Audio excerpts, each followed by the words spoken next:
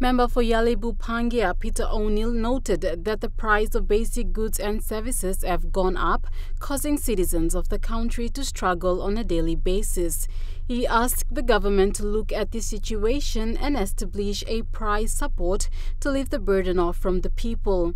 Today, the prices are continuously been driving upwards almost on a weekly basis. If you go shopping, you will see basic goods that our people uh, uh, depending on our prices, are too high. When is the government going to establish the price controller's office?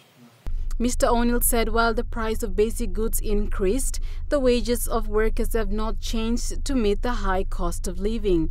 He said the minimum wages rate must be reviewed. Wages has not increased. We need to establish the minimum wages board immediately, Mr. Speaker, and tell them to review the wages for ordinary men and women in this country. Mr. O'Neill further stated that this is a priority area the government should consider first before looking at other areas. Cynthia Maku, National EMTV News.